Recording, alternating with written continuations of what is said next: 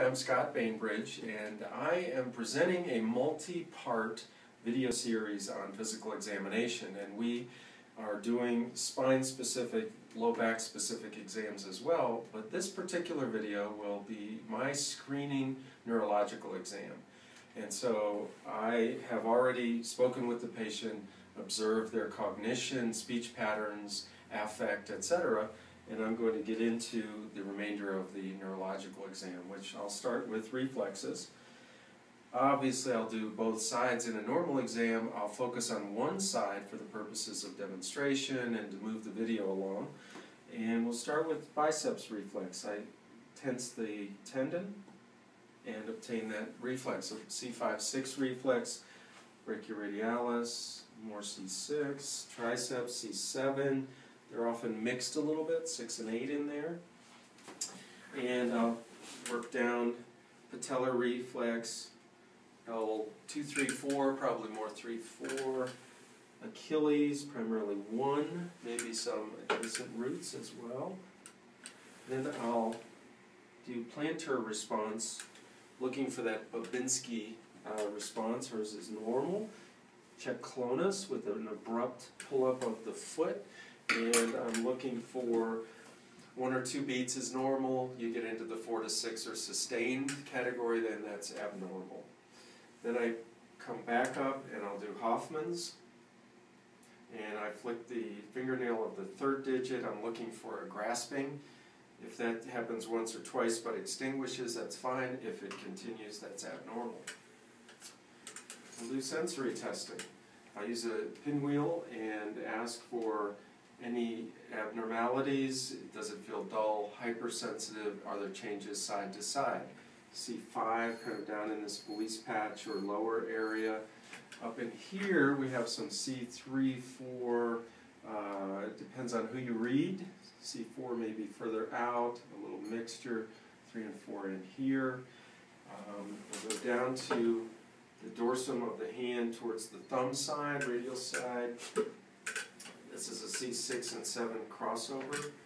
I'll go to the palmar aspect, and this is also radial sensory distally, median nerve, C6, 6, 7 crossover, third digit C7.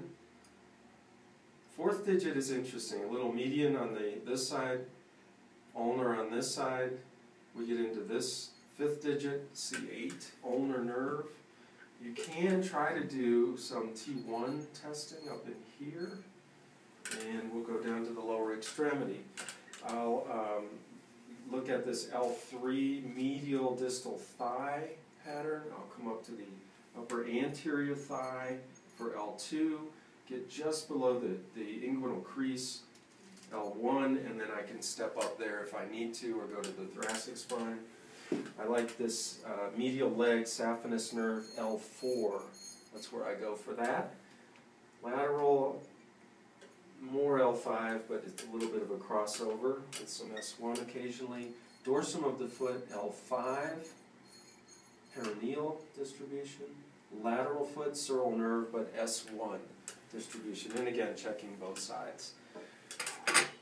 I'll check strength, arms up like this push up against me. So looking at deltoid, primarily C5. If they're very strong, I may use some leverage like this, arms like this. Bicep, 5 and 6, pull against me. Push out. This is tricep, primarily 7. Bring the wrists back towards you. So look at the back of your, your wrists and pull back and lock that wrist. And go ahead and lock and resist me primarily C6, fingers straight out, lift up with the fingers, C7, and spread your fingers apart. And these were radial nerve. The, this is more primarily an ulnar nerve function. Go ahead and spread apart against me. Very good. Squeeze my fingers. Squeeze, squeeze, squeeze. Primarily C8.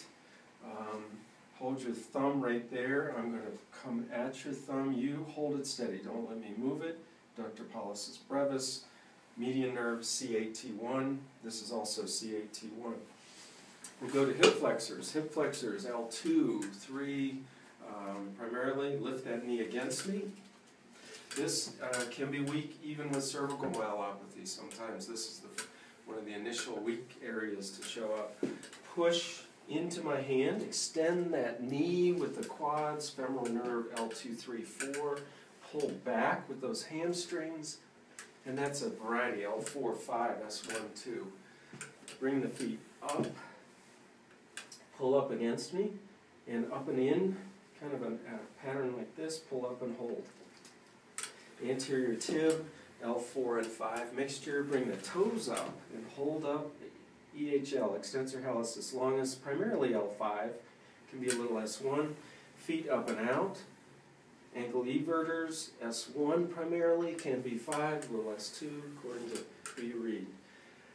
Um, I'm going to have you stand and walk on your toes, looking at those gastrocs, largely an S1 function, and on your heels, and L4 and 5.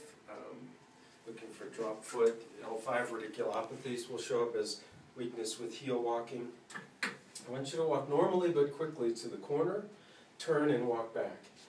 And I'm often looking at gait, looking for spastic components, any other abnormalities of gait.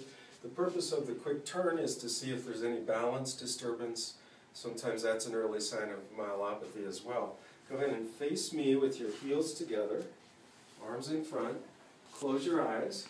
With this finger, touch your nose.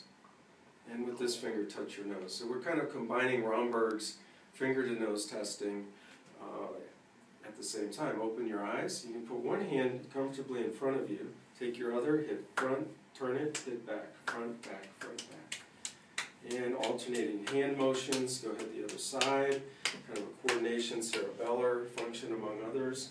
Look at my, and then I'll jump to cranial nerves fingers, follow with your eyes. And in, close your eyes real tight and open. A little tough to see your pupils, but that's what I'm looking for. Nice smile, so I'm looking at that. Close your eyes real tight again. Close your eyes tight, tight, tight, good. And open again. Stick your tongue out, back and forth, good. Can you hear this? Sound the same there. So these feel the same side to side. Push your chin against me and here. All right. And then I'll get into other aspects of my musculoskeletal exam if indicated. I think that's a reasonable screening exam uh, for general neurological function. Thank you.